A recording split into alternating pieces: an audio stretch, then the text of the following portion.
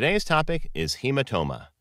A hematoma is an area of blood that collects outside blood vessels as a result of damage to one of the larger blood vessels in the body. Hematoma can occur in any of the blood vessels, including the veins, arteries, and capillaries. Hematoma is a very common problem experienced by many people at some point in their lives. Many hematomas are usually harmless, although some can indicate a more serious medical problem. There are different types of hematoma, depending on their location of the body. The location may also help determine how potentially dangerous it is. They include ear hematoma, appears between the cartilage of the ear and the overlying skin. It is a common injury in boxers, wrestlers, and other athletes who regularly sustain blows to the head. Hepatic hematoma appears in the liver. Intracranial epidural hematoma appears between the skull and the outside lining of the brain. Retroperitoneal hematoma appears inside the abdominal cavity but not within any organs. Scalp hematoma appears as a bump on the head. This type does not affect the brain because the damage is to the external skin and muscle. Spinal hematoma appears between the spinal vertebrae and the lining of the spinal cord. Splenic hematoma appears in the spleen. Subcutaneous hematoma appears just under the skin, typically in the shallow veins close to the surface of the skin. Subdural hematoma appears between the brain tissue and the internal lining of the brain. Subungual hematoma appears under the nail, fingernail, or toenail. It is common in minor injuries, such as accidentally hitting the finger with a hard object. Causes The most common causes of hematoma are injuries and trauma to the wall of the blood vessels. People can get hematoma from a minimal injury, such as stubbing a toe or slightly stroking the nail against an object. More significant traumas, such as falling from a height, getting into a motor vehicle accident, can cause severe bleeding under the skin or even inside the body.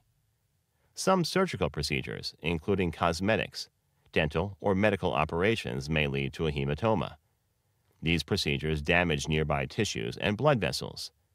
Hematoma may often form around the site of the procedure. In some cases, a hematoma may happen spontaneously without any identifiable cause. Certain blood thinner medications can increase the risk of a hematoma individuals who take medications such as aspirin, warfarin, or dipyridamole may develop a hematoma much easier than others. Other risk factors include excessive alcohol use, blood cancers, bleeding disorders, chronic liver disease, or low platelet count. Symptoms For more superficial, symptoms may include redness, discoloration, pain, inflammation and swelling, tenderness in the area, warmth in the skin surrounding the hematoma. Hematoma in the skull may be dangerous. Associated symptoms may include a severe worsening headache, sleepiness, drowsiness, uneven pupils, difficulty moving an arm or leg, hearing loss, difficulty swallowing, loss of consciousness. Anyone who has been in an accident or sustained a serious injury should regularly check in with a doctor to screen for hematoma. Diagnosis and treatment.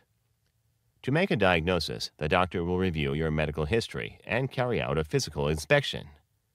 Depending on the situation, tests such as liver tests and complete blood count, or CBC, may be useful in evaluating a person with a hematoma and rule out any underlying condition that may be responsible. To diagnose hematomas inside the body, Imaging studies such as CT scan of the head, the abdomen, and MRI may be ordered. Treatment. In some cases, treatment may not be required. With time, the blood from the hematoma is reabsorbed by the body. Sometimes, resting the injured area and applying an ice pack wrapped in a towel may help in reducing pain and swelling. To keep the blood vessels from reopening as it heals, it may help to wrap or splint the area around the hematoma. If the injury is very painful, over the counter or prescription pain relievers may be recommended. In some cases, surgical drainage of the hematoma may be required. This may be done if the blood is putting pressure on the spinal cord, brain, or other organs, or if the hematoma is at risk of infection. Thank you for watching our video. Please do not forget to like and share the video. Also, please subscribe to the channel to stay updated on our latest videos.